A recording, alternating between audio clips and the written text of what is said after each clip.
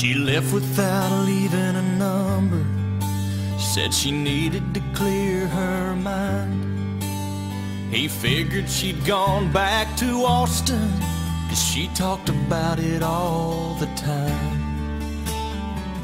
It was almost a year before she called him up. Three rings and an answering machine what she got. If you're calling about the car I sold it, and P.S. If this is Austin, I still love